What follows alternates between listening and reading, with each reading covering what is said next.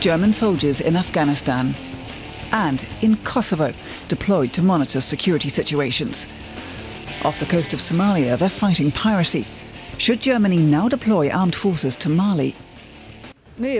No, German soldiers shouldn't be roaming around the world. They should stay home. Yes, Germany should take part.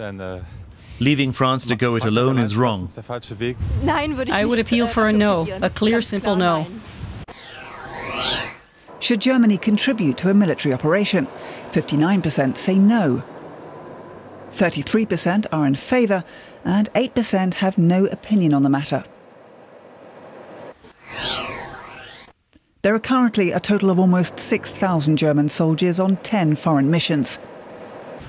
From a German point of view, there are already far too many Bundeswehr soldiers on missions abroad.